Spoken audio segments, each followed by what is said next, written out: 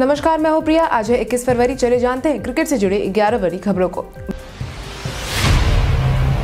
भारत और न्यूजीलैंड के बीच खेले जाने वाला पहला टेस्ट होगा वेलिंगटन में। आज भारत और न्यूजीलैंड के बीच पहला टेस्ट मैच खेला जाना है, जिसकी शुरुआत वेलिंगटन से होगी। इस मैदान के इतिहास की बात करें तो यह मैदान भारतीय टीम के खिलाड़ियों के लिए लकी माना जाता था। मगर अब इस मैदान में वो बात नहीं रही। वैसे तो भारत ने इस दौरे पर ही टी की शुरुआत इसी मैदान से की थी और न्यूजीलैंड की टीम का सुपड़ा साफ़ कर दिया था। मगर टेस्ट क्रिकेट में भारत का इतिहास कुछ खास नहीं रहा है। इस मैदान से भारत और न्यूजीलैंड ने अब तक कुल मिलाकर सात टेस्ट मैच खेले हैं, जिसमें भारत को एक वही न्यूजीलैंड को चार टेस्ट मैच में जीत का आंकड़ा रहा है। वहीं आज खेले जाने वाले मैच में भी टक्कर बराबर की होगी, जहाँ दोनों टीम अपने सर पर एक एक सीरीज़ की जीत का सहरा सजा चुकी है। कप्तान कोहली ने किया अपने संन्यास का ऐलान। सभी भारतीय क्रिकेट फैंस के लिए अहम सूचना। भारतीय क्रिकेट टीम के कप्तान विराट कोहली ने एक बड़ा बयान दिया है। उन्होंने कहा है कि वो अभी कम से कम तीन साल और तीनों प्रारूपों में क्रिकेट खेलते रहेंगे। उसके बाद किसी एक फॉर्मेट से संन्यास लेने के बारे में सोच सकते हैं। अगले तीन साल में दो टी वर्ल्ड कप और एक पचास ओवर का वर्ल्ड कप है। आज टेस्ट सीरीज़ शुरू होने से पहले भारत और न्यूजीलैंड टेस्ट क्रिकेट के आंकड़ों पर एक नज़र। आज भारत और न्यूजीलैंड के बीच दो मैचों का टेस्ट सीरीज़ खेला जाना है, जहाँ पर भारतीय टीम अपने इज़्ज़त बचाकर इस सीरीज़ को हासिल करने की पूरी कोशिश करेगी। वहीं न्यूजीलैंड की टीम एक बार फिर से टी क्रिकेट का बदला लेने के लिए मंशा से मैदान में उतरेगी।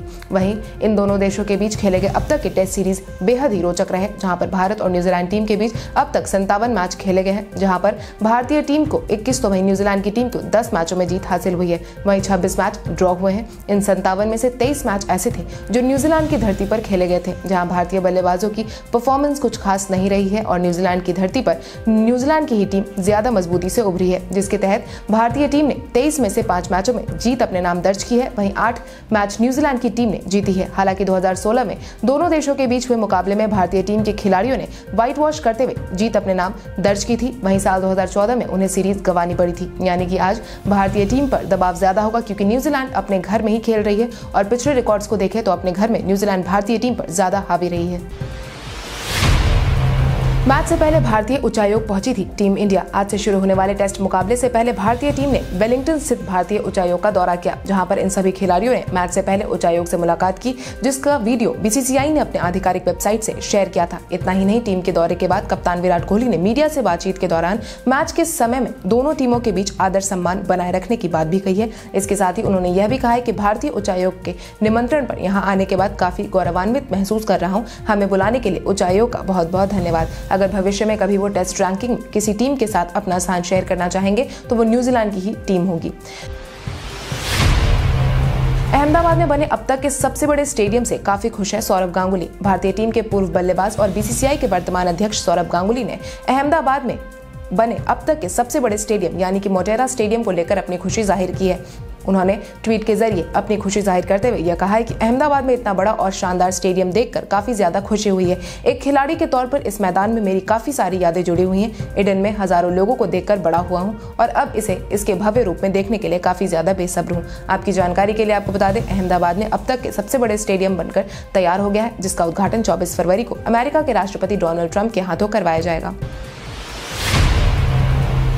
रॉस टेलर ने ईशांत शर्मा को लेकर कही बड़ी बात। न्यूजीलैंड टीम के अनुभवी बल्लेबाज रॉस टेलर ने भारतीय टीम की गेंदबाजों को लेकर बड़ा बयान दिया है, जिसके तहत उन्होंने अपनी टीम के सभी खिलाड़ियों से सिर्फ़ जसप्रीत बुमराह से आगाह रहने की नसीहत नहीं दी है, बल्कि अन्य गेंदबाजों से भी सतर्क रहने की अपील की है। उन्होंने मीडिया से बातचीत के दौरान कहा है कि मुझे ऐसा लगता है कि अगर हमारी टीम सिर्फ़ बुमराह पर ध्यान देगी तो नुकसान हमारी टीम का ही होगा। भारतीय टीम के पास वर्तमान समय में बेहतरीन बल्लेबाजों के साथ साथ शानदार गेंदबाज भी मौजूद है। ऐसे में उनके हर विश्व स्तरीय बल्लेबाज और गेंदबाज से निपटने के लिए हमें तैयार रहने की ज़रूरत है। आपकी जानकारी के लिए आपको बता दें, भारतीय टीम के अनुभवी गेंदबाज ईशांत शर्मा रणजी मैच के दौरान चोटिल हो गए थे, जिसके बाद से उनके सीरीज़ से बाहर होने के अटकले लगाए जाने लगे थे। हालाँकि उनकी वापसी से टीम इंडिया को काफ़ी मदद मिल सकती है। वहीं बीते मैच में बुमराह की बात करें तो भारत और न्यूजीलैंड के बीच खेले गए वनडे सीरीज़ में बुमराह एक भी विकेट नहीं ले पाए थे, जिसके बाद अब उनके पास भी अपनी गेंदबाजी दिखाने का शानदार अवसर है। युवराज सिंह ने अपने वेब सीरीज़ को लेकर चल रही खबरों की खुद खोली सच्चाई। हाल ही में एक ऐसी खबर तेज़ी से फैल रही थी, जिसमें युवराज सिंह के वेब सीरीज़ में काम करने की खबरें सामने आ रही थी, जिसके तहत उनके, उनकी धर्मपत्नी हेजल, उनके भाई जोरावर और उनकी माँ एक साथ वेब सीरीज़ आने की खबर आसमान छू रही थी, जिसके तहत दिन भर मीडिया में यही खबरें देखने को मिली थी कि मैदान को अलविदा कहने के बाद अब युवराज सिंह करने जा रहे हैं अभिनय। मगर इस खबर पर युवराज सिंह ने अब खुद अपनी प्रतिक्रिया देते हुए यह साफ़ कह दिया है कि वो ऐसे किसी भी वेब सीरीज़ का हिस्सा नहीं बन रहे जो वेब सीरीज़ आ रही है, वो उनके भाई जोरावर की है। उनका उस सीरीज़ से कोई लेना देना नहीं है। इतना ही नहीं, उन्होंने मीडिया से इस तरह की गलत अफवाहों को हवा ना देने का भी अनुरोध किया है। आपकी जानकारी के लिए आपको बता दें, युवराज सिंह ने अपने एक ट्वीट के ज़रिए इन अटकलों को साफ़ किया है और साथ ही मीडिया को भी जमकर सुनाया है। वहीं आपको यह भी बता दें, जिस वेब सीरीज़ की चर्चा हो रही है, वो असम स्थित ड्रीम हाउस प्रोडक्शन के बैनर तले बनाई जा रही है। सौरभ गांगुली और राहुल ने बदली भारतीय जूनियर क्रिकेट की तस्वीर। ज्ञानेंद्र पंडर। मैदान के दो दिग्गज बल्लेबाज सौरभ गांगुली और राहुल द्रविड को अक्सर खिलाड़ी क्रिकेट के मैदान की दीवार मानते थे। इतना ही नहीं, इन दोनों दिग्गज खिलाड़ियों को टीम इंडिया की तस्वीर बदलने के लिए भी मुख्य कारणों में से एक माना जाता है। हाल ही में भारतीय जूनियर टीम चयन समिति के सदस्य पूर्व क्रिकेटर ज्ञानेंद्र पंडर ने मीडिया हाउस को दिए एक विशेष साक्षात्कार में यह बताया है कि भारत ए टीम के मुख्य कोच के रूप में राहुल द्रविड ने ईशान किशन, पृथ्वी शॉ, ऋषभ पंत जैसी प्रतिभाओं को तराशा है और भारतीय टीम तक पहुँचाया है। और अब वो बेंगलुरु में राष्ट्रीय क्रिकेट अकेडमी में निदेशक के तौर पर अपनी भूमिका को बखूबी निभा रहे हैं। साथ ही वर्तमान समय में वो अंडर 19 को निखारने में भी लगे हुए हैं। हरभजन सिंह के ट्रोल का रोहित शर्मा ने दिया उनके ही अंदाज में जवाब। हाल ही में भारतीय टीम के पूर्व गेंदबाज हरभजन सिंह ने रोहित शर्मा के एक वीडियो पर टिप्पणी की थी, जिसका जवाब अब रोहित ने अपने अंदाज में दिया है। दरअसल, चोटिल होने के बाद टीम से बाहर हुए रोहित शर्मा ने अपने सोशल मीडिया हैंडल से अपने जिम की एक वीडियो शेयर की थी, जिसमें रोहित शर्मा लगभग 40 किलो का वज़न उठाते नज़र आ रहे हैं, जिस पर हरभजन सिंह ने उनकी चुटकी लेते हुए लिखा था, बस 40 किलो का वज़न कमौन शर्मा। जिस पर रोहित ने भी जवाब देते हुए तुरंत कमेंट बैक करते हुए यह लिखा कि, मैं सिर्फ़ 40 किलो का वज़न इसीलिए उठा रहा हूँ, क्योंकि मैं चोटिल होने के बाद पहली बार वज़न उठा रहा हूँ। रोहित के इस पोस्ट पर रोहित और हरभजन के अलावा कई सारे समर्थकों ने भी कमेंट किया है, जहाँ कुछ लोग हरभजन की कमेंट से सहमति जता रहे हैं तो वहीं कुछ लोग रोहित के रिप्लाई का समर्थन कर रहे हैं। छह विश्व कप गवाकर मजबूती से मैदान में उतर सकती है भारतीय महिला क्रिकेट टीम। आज से भारत और न्यूजीलैंड के बीच से टेस्ट सीरीज़ की शुरुआत के साथ ही वुमेन क्रिकेट टीम की भी विश्व कप की लड़ाई शुरू होने वाली है, जिसके तहत आज से ऑस्ट्रेलिया में ICC women T twenty world cup का आगाज़ होगा, जिसमें इस बार टीम इंडिया भी पूरी तरह से तैयारी के साथ मैदान में उतर रही है। वैसे तो वुमेन क्रिकेट टीम आज तक एक भी विश्व कप अपने नाम नहीं कर पाई है, मगर इस बार उनके पास जीतने का शानदार मौका है, क्योंकि वर्तमान में भारतीय टीम में कई बेहतरीन खिलाड़ी मौजूद हैं, जो टीम को इस साल इस विश्व कप दिलवाने में मददगार साबित हो सकते हैं। वहीं आज से शुरू होने वाले मैच में पहला मुकाबला भारतीय टीम का कंगारुओं के साथ होगा, जो कि सिडनी में खेला जाएगा, जहाँ पर हरमनप्रीत कौर की कप्तानी में टीम इस कप के लिए शानदार शुरुआत करने के इरादे से मैदान में उतरेगी। वैसे तो पिछले छह बार से भारतीय टीम का प्रदर्शन काफ़ी अच्छा रहा है, मगर ट्रॉफी तक का सफ़र पूरा नहीं हो पाया है।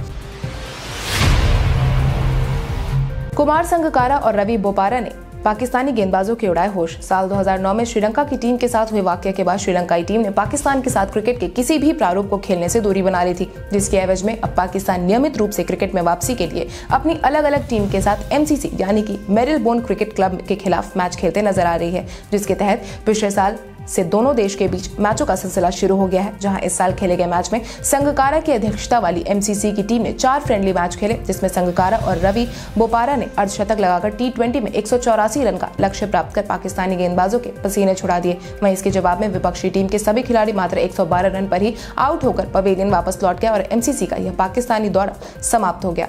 तो चलिए बढ़ते हैं आज के सवाल की और आज का सवाल कुछ इस प्रकार है। आज भारत और न्यूजीलैंड के बीच खेले जाने वाले पहले टेस्ट मुकाबले में आपके हिसाब से किसका पलड़ा ज़्यादा भारी है और क्यों? अपने जवाब हमें कमेंट करके ज़रूर बताएँ। इसके साथ ही आज के लिए बस इतना ही। क्रिकेट से जुड़ी तमाम छोटी बड़ी खबरों से अपडेटेड रहने के लिए हमारे यूट्यूब चैनल को सब्सक्राइब करें और बेल आइकन दबाना ना भूलें। धन्यवाद।